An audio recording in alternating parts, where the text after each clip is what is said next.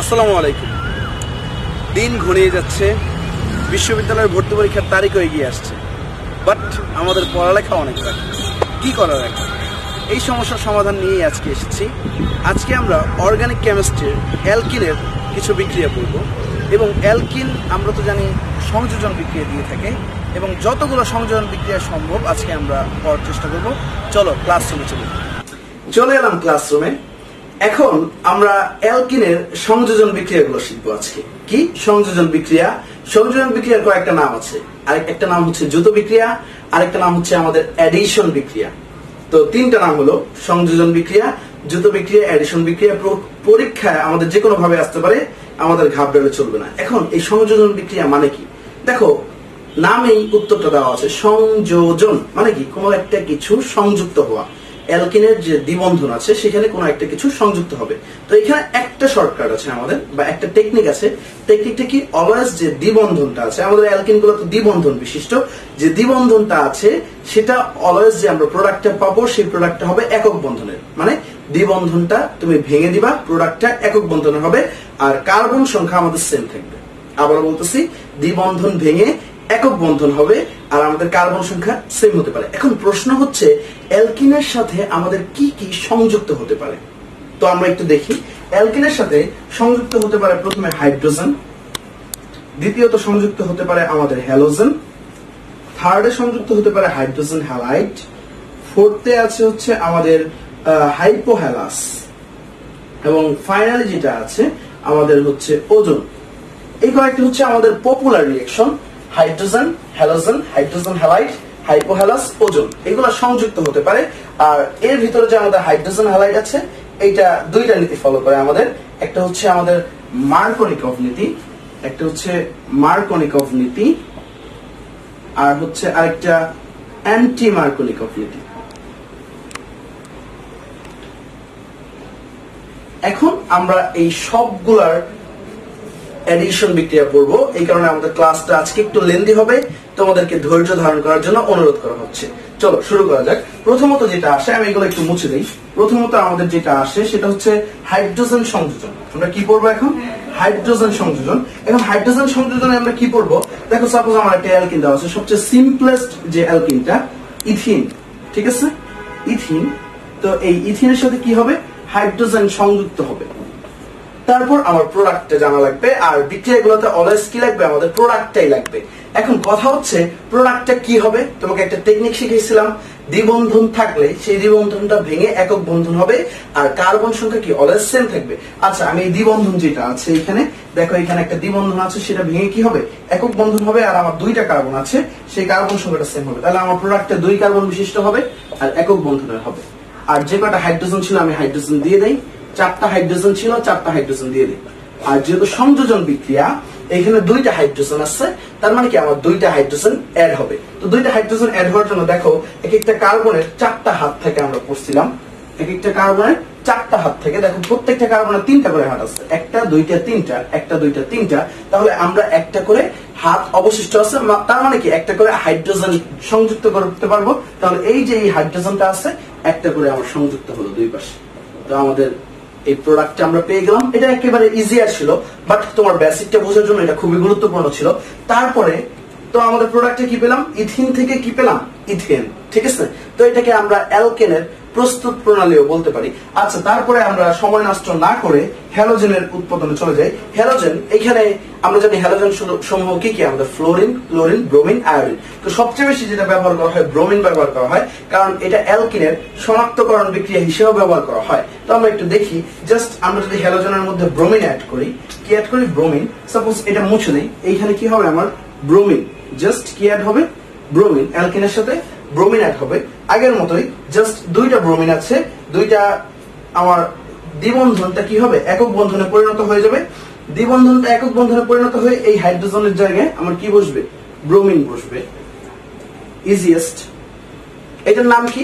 One two dibromo ethane তো এইটা আমাদের অ্যালকিনের শনাক্তকরণ বিক্রিয়া হিসেবে ব্যবহার করা হয়। কারণ হচ্ছে ব্রোমিনের যে বর্ণটা আছে, সেটা হচ্ছে কি? আমাদের লাল বর্ণ। ঠিক আছে? ব্রোমিনেরটা কি আমাদের? লাল বর্ণের হয়, তো যখন বিক্রিয়াটা সম্পূর্ণ হয়, তখন এই ব্রোমিনের লাল বর্ণটা বর্ণহীন হয়ে যায় এখানে। কি হয়ে যায়? বর্ণহীন হয়ে যায়। তখন আমরা কি বলি? এটাকে অ্যালকিনের শনাক্তকরণ বিক্রিয়া বলি। ঠিক আছে? তো আমাদের হ্যালোজেন সংযোজনা হয়ে গেল। দেখো, জিনিসগুলো ইজি না। জাস্ট আমরা যদি একটু থিঙ্ক করে করি তাহলেই হবে। তারপরে আসে হচ্ছে আমাদের হাইড্রোজেন হ্যালাইড সংযোজন। এখানে দুইটা জিনিস আসে আমাদের। সেটা হচ্ছে সবচেয়ে বড় যে জিনিসটা হচ্ছে মার্কনিক নীতি আর আরেকটা আসে অ্যান্টি মার্কনিকভ নীতি। দুইটাই শিখব। তো মার্কনিকভ পারলে তোমরা অ্যান্টি মার্কনিকভ পারবা।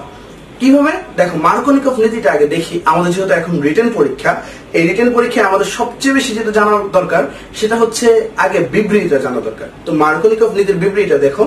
বলা হয়েছে কি, অসম্পৃক্ত জৈব যৌগের ঠিক আছে? অসম্পৃক্ত জৈব যৌগ মানে কি? যাদের কার্বনের দ্বিবন্ধন বা ত্রিবন্ধন আছে। অসম্পৃক্ত জৈব যৌগের অপ্রতিসম কার্বনের। অপ্রতিসম কার্বনটা বুঝো? মানে কি? দেখো, কার্বনের দ্বিবন্ধনে হাইড্রোজেন সংখ্যা সমান হইতে পারবে না।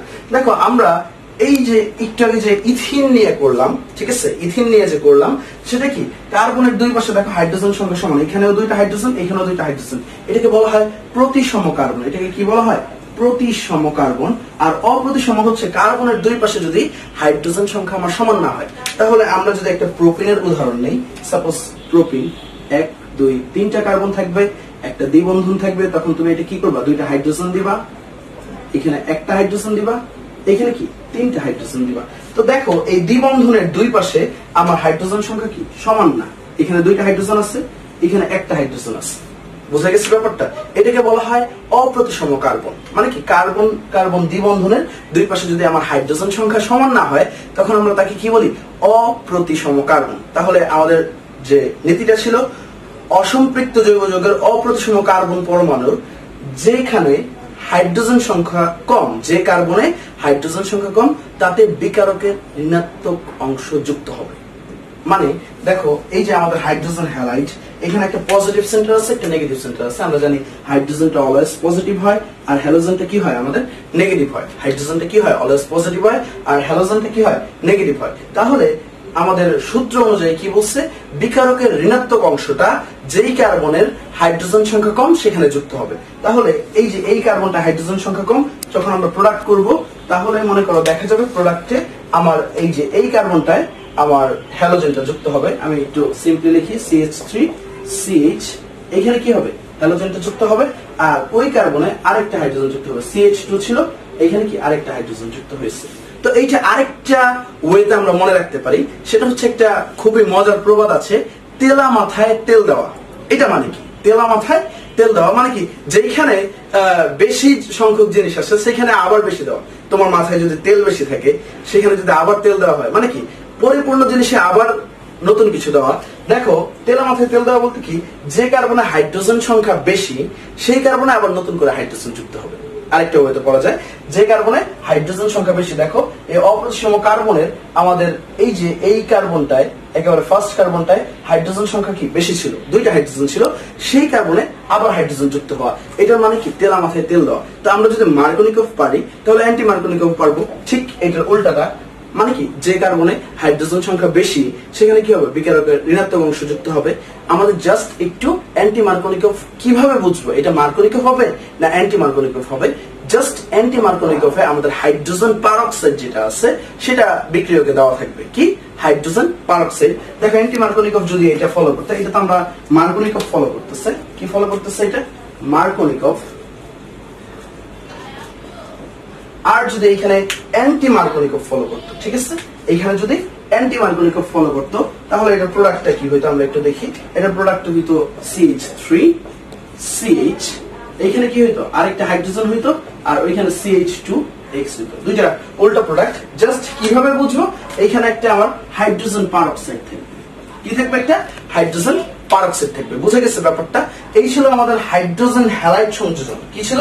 হাইড্রোজেন হ্যালাইড সংযোজন। এরপরে আমরা হাইপোহ্যালাস হাইপোহ্যালাসটা অনেকটা অ্যান্টি মার্কনিকভ নীতির মতো। কীভাবে? আমি আবার বলতেছি হাইপোহ্যালাসটা কি? অনেকটা অ্যান্টি মার্কনিকভ নীতির মতো। ভয় পাওয়ার কোনো কারণ নাই? তাহলে অ্যান্টি নীতি কি? যেখানে হাইড্রোজেন আছে, সেখানে বিকারকের ঋণাত্মক অংশ যুক্ত হবে। এখন সবচেয়ে বড় চ্যালেঞ্জটা হচ্ছে এখানে কোনটা ধনাত্মক অংশ, কোনটা ঋণাত্মক অংশ, সেটা বের করা। কারণ আমরা জানি এখানে ও এইচ আছে। এখানে কি আছে আমাদের? ও এইচ আছে, আর এখানে হ্যালোজেন আছে। হ্যালোজেন ঋণাত্মক ও এইচ ঋণাত্মক। এখানে কোনটা ঋণাত্মক অংশ হিসেবে কাজ করবে? তো মজার বিষয় হচ্ছে এইখানে হ্যালোজেন আমরা জানি হ্যালোজেন সমূহ মোর ইলেকট্রোনেগেটিভ হ্যালোজেনগুলো কি অধিকতর ঋণাত্মক? তাহলে এই যে হ্যালোজেন যেটা আছে হ্যালোজেনটা হবে নেগেটিভ আগের মতোই, আর ওএইচটা হবে আমাদের পজিটিভ হ্যালোজেনটা হবে আগের মতো নেগেটিভ আর ওএইচটা কি হবে? আমাদের পজিটিভ কোনো ঘাবড়ানোর কিছু নাই। তাহলে ওএইচটা যদি পজিটিভ হয়, এখানে তুমি যদি মনে করো হাইপোহ্যালাস সংযোজন করো, এখানে কি যদি? হাইপোহ্যালাস এইচ ও এক্স যুক্ত করো, তাহলে তোমার প্রোডাক্টটা কি আসবে? ঠিক এইরকমই ঠিক আছে? CH three CH three CH ঠিক আছে? CH two CH three CH CH two just এইখানে এক্স এক্স থাকবে, আর এইখানে তোমার সিএইচ এর জায়গায় কি আসবে? ওএইচ বুঝে গেছে? এই ছিল আজকে আমাদের কতিপয় বিক্রিয়াগুলো। আরেকটা বাকি আছে, ওজন। ওজনটা আমরা নেক্সট ক্লাসে দেখাবো।